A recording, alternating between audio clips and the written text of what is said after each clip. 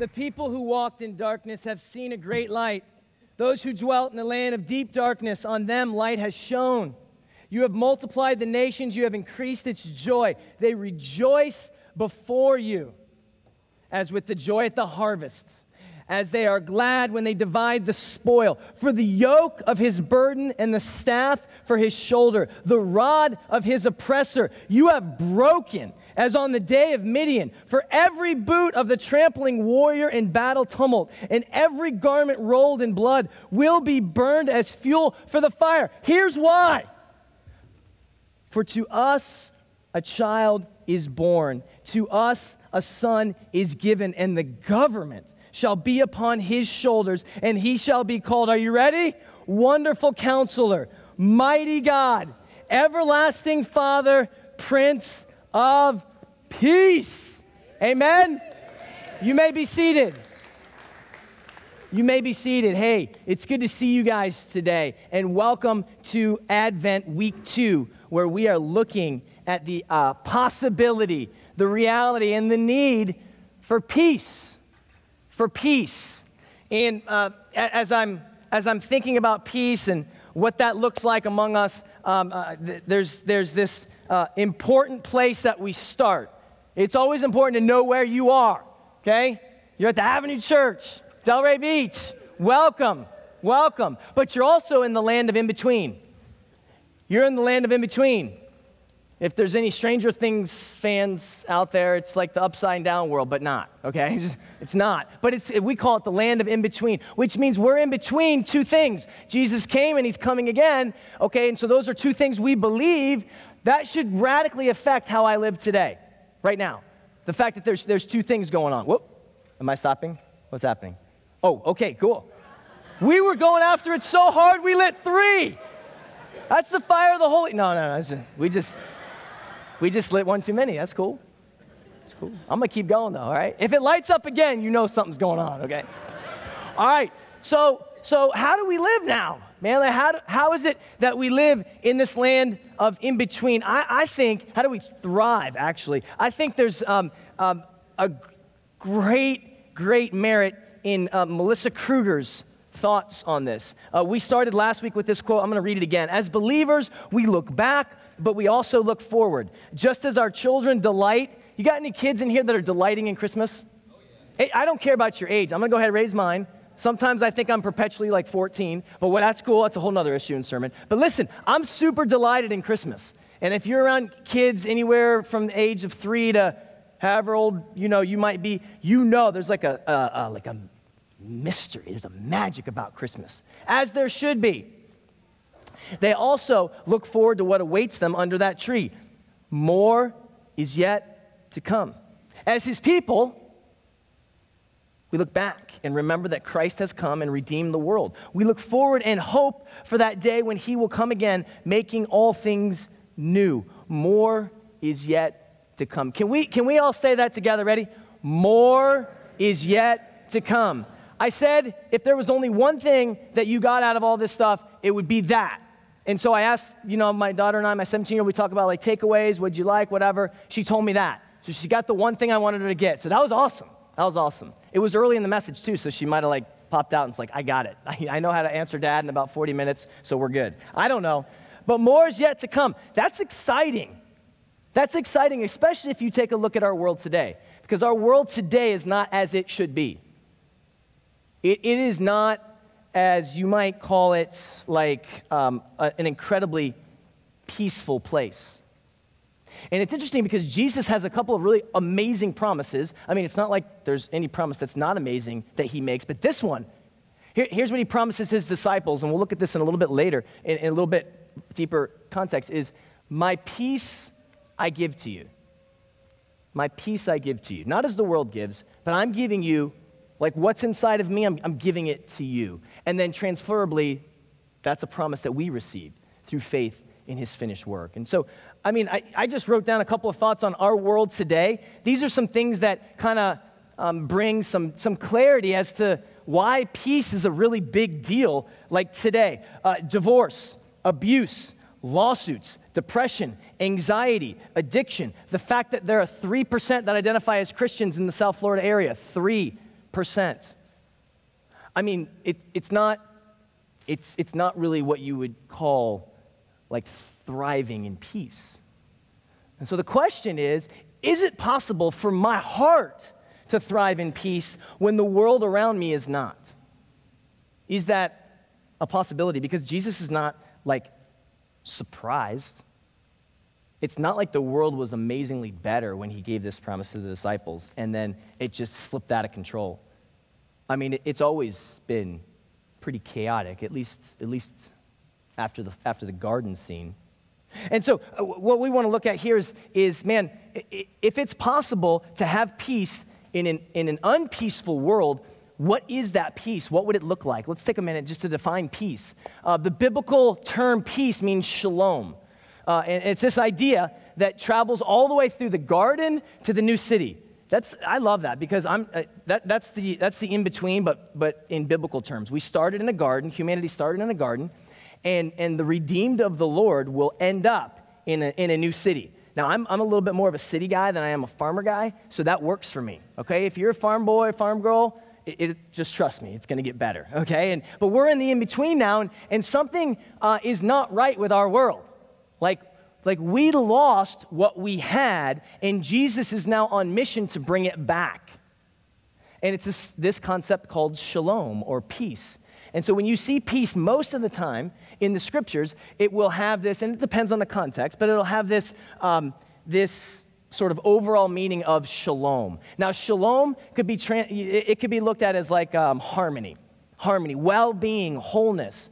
And specifically, um, there's, there's usually three areas that we can lean into when it comes to harmony. Um, there's harmony between uh, us and the Lord, so horizontal harmony. Uh, there's harmony uh, that's vertical harmony between one another, that's, that's relational harmony, peace, and there's harmony on the inside. There's, there's what's going on um, out here. There's a fourth harmony that we're not going to really talk a lot about today, which is like the harmony between us and creation. But that's another harmony that was lost in the garden that, that we walk through um, today. And, and, and so, um, what we want to do is, man, we're looking at this, this, this concept of what was had has now been lost Jesus promises to restore it. So now, what should I be as a child of God? What should, I, what should my expectations be of experience? How should I be um, experiencing? And is it, is it really fair for me to think of myself as being able to thrive in this harmony, to thrive um, in this peace, uh, relationally, internally, and spiritually? Before we um, hop into our first uh, passage, which we've actually already did, it kind of sets the context for us. It's from Isaiah, um, the one that I read to you. Uh, it, there, there's, this, there's this picture of a, of a peace that's coming, but here's what I love about the peace in Isaiah it's, um, it's a peace that requires war. If you caught what I was saying in the Isaiah, I'm not saying I was just reading it, but if you caught what I read in the Isaiah passage, there's a light that's shown, and then there's a Prince of Peace at the end. But in between, there's, there's a war. There's a robe that was dipped in blood. Things were broken. The, the, the battle of Gideon and, and Midian is referenced. Um, the Lord's been pressing on my heart, I believe, like this week, this idea of um, there's, a, there's a costliness to peace. And as a matter of fact, there, there's, a, there's a power to peace that conquers. And so, what we're going to look at today is, is this concept of a, of a conquering peace. It's not a peace that, like, you might think of when you go into the spa and it's all like, ooh, you know, like it smells good, and you're like, what's that smell? I don't know, but it always smells like I'm in a spa, and, and there's music, and you're just super chill mode. Most of us think about peace in that way, but I want us to think a little differently about peace today. I want us to think biblically about peace. Not that there's anything wrong with that, but I want us to think about this idea of a peace that comes in and conquers the chaos that's going on in here and out here and up here. That, that the peace of Christ is a powerful peace, that it came at a great price from a great warrior who is the Prince of Peace. And it's meant to conquer things that have probably conquered you for years. Let's look at that. So, if you have your Bibles, um, we're going to be in Luke and then in Matthew. Uh, and, and, so uh, you're going to be hearing some of the, the Christmas story, and uh, we're, we're going to see what that has to do with this idea of uh, peace. So, uh, Luke, beginning in chapter 1, beginning in verse 26, uh, you're going to meet Mary here. Um, many of you may be familiar with who Mary is and sort of a Judeo Christian concept, and she's the, the mother of Jesus. And you know, I don't know what your thoughts are on her or what your history is with Mary. Um, but we're going to take a look at Mary and, and we're going we're gonna take a look at Joseph. We're going to do it from a perspective of like God's conquering peace. In the sixth month, the angel Gabriel was sent from God to a city of Galilee named Nazareth to a virgin betrothed to a man whose name was Joseph of the house of David. And the virgin's name was Mary. Next slide, please. And he came to her and said, Greetings, O favored one, the Lord is with you. But she was greatly troubled at the saying and tried to discern what sort of greeting this might be. And the angel said to her, Do not be afraid, Mary, for you have found favor with God. And behold, you will conceive in your womb and bear a son, and you shall call his name Jesus. He will be great and he will be called the Son of the Most High. And the Lord God will give to him the throne of his father David, and he will reign over the house of Jacob forever, and of his kingdom there will be no end. And Mary said to the angel, How will this be, since I am a virgin? And the angel answered her, The Holy Spirit will come upon you, and the power of the Most High will overshadow you. Therefore, the child to be born will be called Holy, the Son of God. Anybody familiar with that passage? Anybody? Okay. I mean, you know, whether it's your first time in church or not, or you just watch Charlie Brown stuff, whatever, you probably, you, you probably have some sort of an idea of, okay, oh, that's when Mary heard about like baby Jesus, and, um, you know, that's, uh, you, you kind of maybe have that concept uh, happening. There's a lot that's happening there, right? I mean, um, we're not going to break down all of it, uh, but, but certainly, you know, you've, you've got a lot of different elements that are work there. Uh, you've got a character named Gabriel, who's an angel, who's a messenger of God.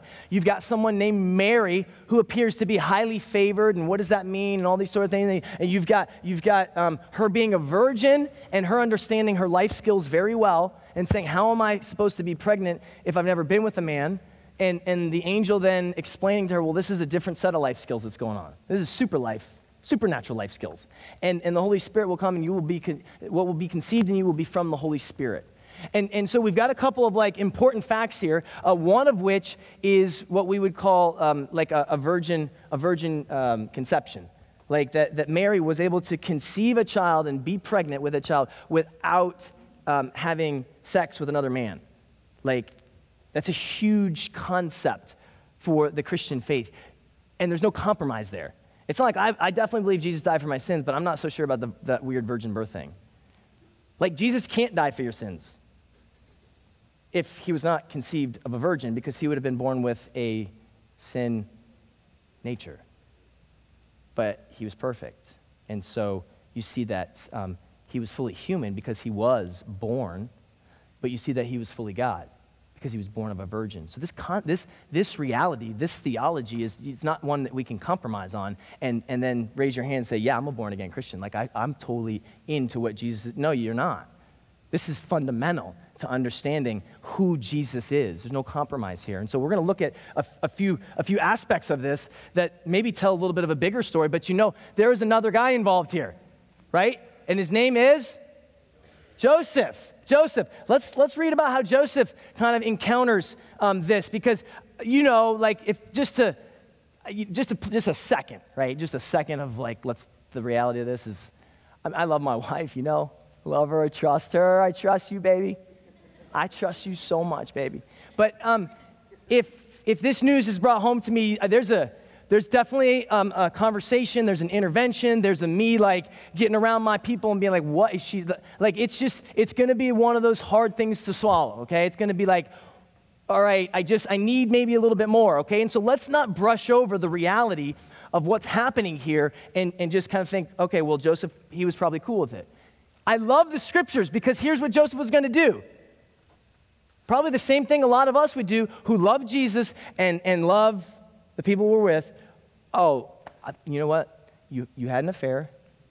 and um, I, I, you know, I love you, and maybe we're really going to try to work that out, or we can't work that out, and like, I, you know, are you seeing this guy? Like, we're going to enter into, we're going to try to get back to reality. Like, I know you're talking about some weird thing with, with Gabriel. Is that the guy? Like, like what's happening here? Like, what do you, just, just be honest with me, baby. I just want to know what happened. So, this is how God enters the world in that type of chaos. So here's, here's how Joseph gets told some stuff. Uh, now, the birth of Jesus Christ took this place in this way. This is from the Gospel of Matthew. When his mother Mary had been betrothed to Joseph, this idea of betrothed is uh, first you got engaged, then you got betrothed. Engagement was kind of between the dads. Betrothal was a more official thing where you actually had to become divorced if you were betrothed, and then you were married. But you weren't, you weren't being together physically when you were betrothed. There was still a process that, that was happening here. Before they came together, okay, she was found to be with child from the Holy Spirit. Next slide. And her husband Joseph, being a just man and unwilling to put her to shame, I mean, quite frankly, in this context, this could have, this could have been like a death sentence to Mary had he wanted to push it in, in this category, potentially, potentially. Um, uh, he resolved to divorce her quietly. Okay, so he's a good dude. He doesn't want to make much of it. But as he considered these things, behold, an angel of the Lord appeared to him in a dream. Okay, Joseph, son of David, do not fear to take Mary as your wife, for that which is conceived in her is from the Holy Spirit. She will bear a son, and you shall call his name Jesus, for he will save his people from their sins. All this took place to fulfill what the Lord had spoken by the prophet. Okay, so there's some, there's some prophetic stuff going on here. So we look back 700 years before, and we see that he's referencing Isaiah. And behold, the virgin shall conceive and bear a son, and they shall call his name Emmanuel, which means God with us. Okay? What else? Does he get other information? What's he do? Now, if, if you're, if I'm Joseph, I'm gonna look out there. There's some people who like really know how my mind works. All right. If I'm Joseph, I am on like this obsession. Like my, my OCD is spinning, my anxiety is out of control, and I'm definitely rehearsing was that an angel or not? Did I really hear from God or not? Like this is this is crazy. And I'm like gripped in like rehearsing what happened, and I'm just I'm caught up in me. I'm not thinking about obedience. I'm not thinking about giving it up for the, for the cause of the God that I say I love. I'm thinking about what's best for me and self preservation. When Joseph woke from sleep, he did as the angel of the Lord commanded him. He took his wife, but knew her not until she had given birth, and he called his name Jesus. Jesus. Jesus is the hero, guys, of this passage, but there's some secondary heroic efforts that are happening here. Um, my, my first kind of teaching slide is titled this. Check it out. Come on, man. So if you're not into like NFL and ESPN and Sports Center, that's kind of a thing that you know guys would do when they were when, when they would review um, the, the plays of the week. There'd be a couple plays of the week where guys they, they'd watch and they'd be like, "Come on, man." And it'd be like, you know, maybe somebody made this like horrible play or whatever. It was just kind of like, come. So may, if that's not, if, that, if that's not you, maybe you're more like, for real? Like for real? You, I mean, this sounds like you're selling me a Billy Goods here. This is, this is how God's going to start his story. This is how he's going to enter humanity. Like for real? Or maybe some of you are back, you know, to like the Seinfeld era, where you remember the Seinfeld, where they're like, stop, and they're like pushing each other over back and forth. Okay, so if you're over 40, you're like, yeah, I remember that one. If you're not, you're like, who's Seinfeld? I was, did he appear on The Office? I'm not sure. So whatever. But like, but, but there's this idea of, like, stop it. Who do you think I am? I just think it's important for us to realize that um, there's chaos on the scene here. This is not the fairy tale wedding. This is not, okay, a couple did it right all the way. Now they're married, had a few years to get to know one another. Okay, have a baby, cool, got good jobs. This is, this is not kind of like everyone applauding the American sort of Christian dream of, of how God works. This is unwed couple pregnant. A total mess. God's like, we're going to do it that way. It's, it almost, if you like familiarize yourself with the scriptures, it almost seems like God loves that sort of pattern. chaos to peace, death to resurrection. Seems like that's his way. A couple of notes that I think are important for us to, to know here as, as, we, as we move along and are true to the scriptures. Betrothed, I already explained that to you. Exalted one. Um, we, we don't want to um, do too little or too, or too less with Mary. When, when it says exalted one, like that's, it's, she was picked to do this, but it doesn't give her status that's anywhere near Jesus. It's like she had an awesome, important role to do in the kingdom of God. And you know what? So does Aaron. And so does Megan.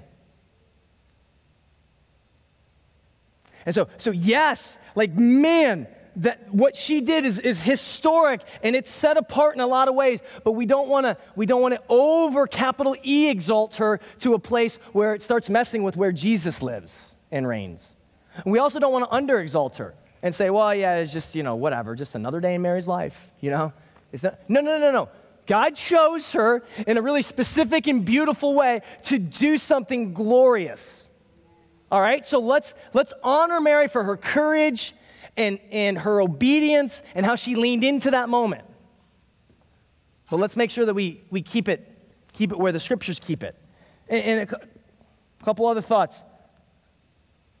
There, there's, some, there's some Trinitarian talk here. When you start to hear the words great son, um, David's promised for, forever heir, I mean, th- these, are, these are some really um, big things that are happening here in, in the context of this chaos. And, and we're going to we're gonna look at them in a little bit more here. The, the one thing that you can see is that there's, there's some dreams that are important.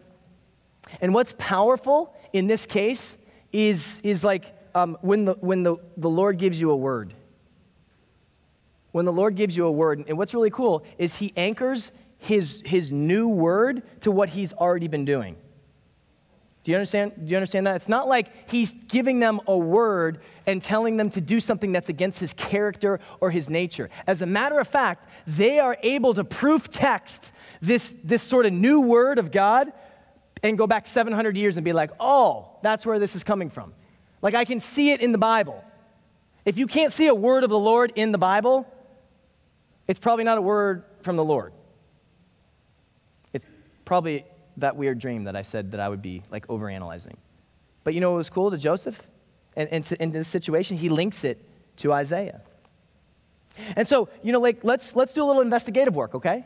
Let's let's see what this looks like here. And so, um, you know, we've we've we've talked about this week and, and even a little bit more last week um, what was going on in Isaiah 700 years before.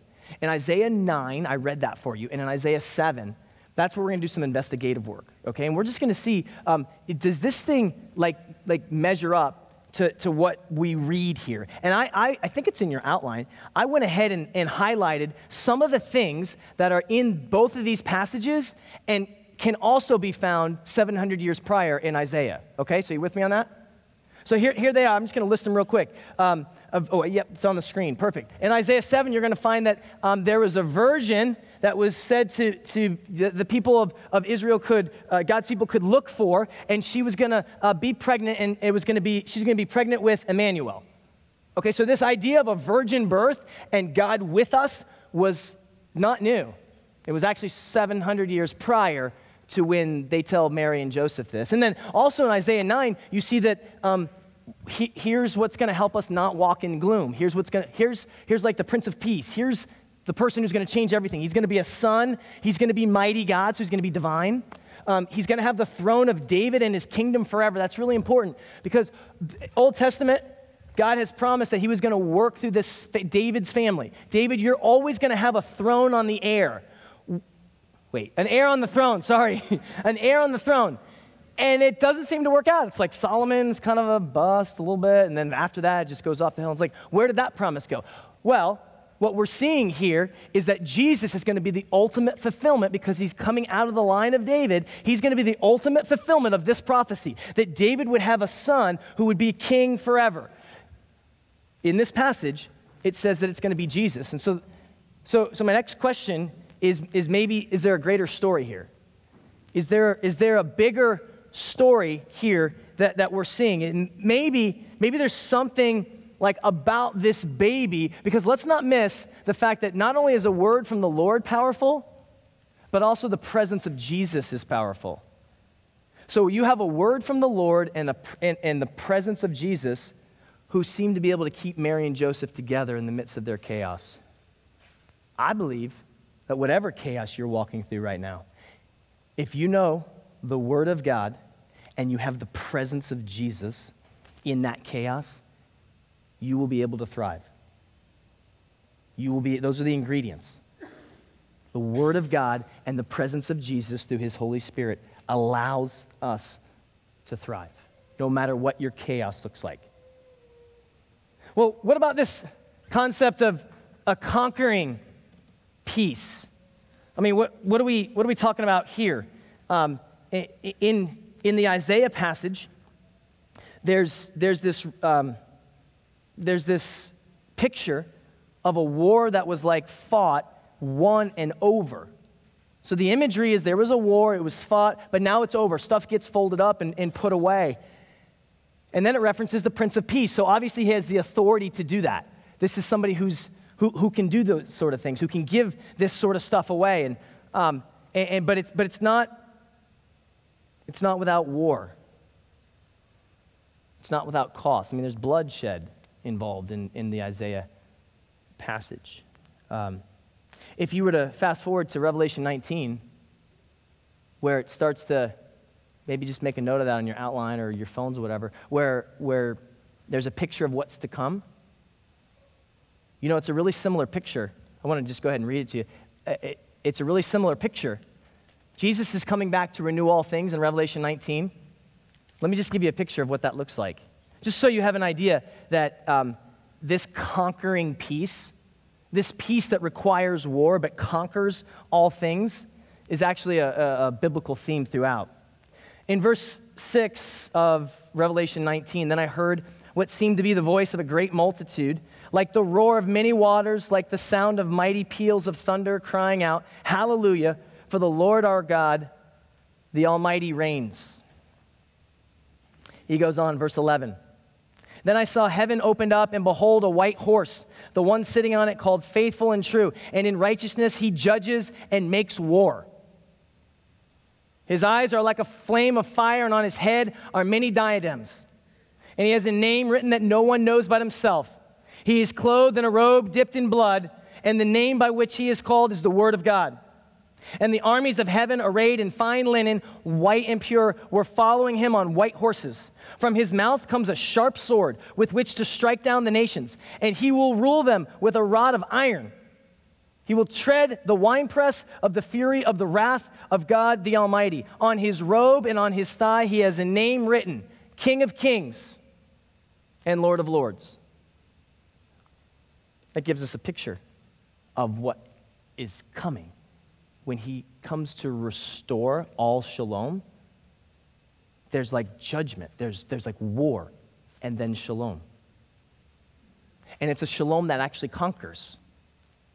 It's not just a shalom that has good sounds to it and nice smells. It's a shalom that destroys things that don't belong.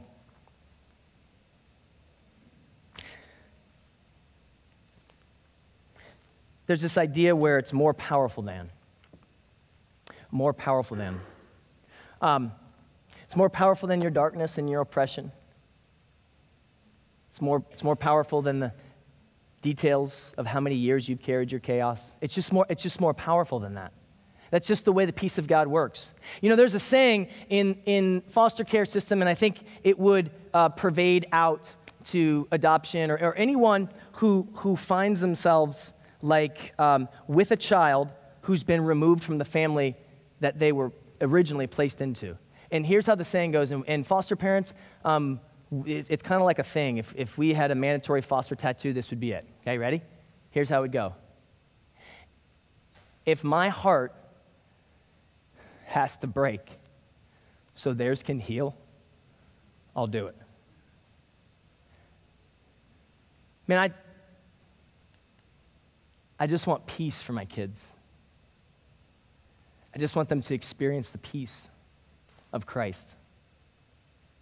And sometimes it feels like in our journey and in the journeys of others, it requires a breaking of a heart so theirs can heal.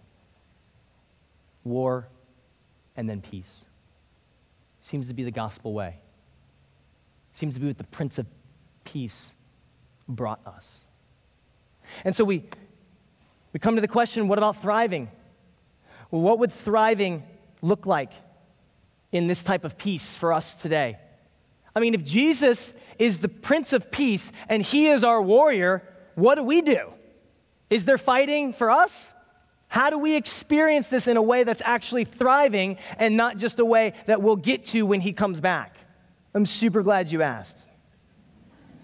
Verse 27 Peace I leave with you, my peace I give to you. Not as the world gives, do I give to you. Let not your hearts be troubled, neither let them be afraid. This is Jesus talking to his disciples.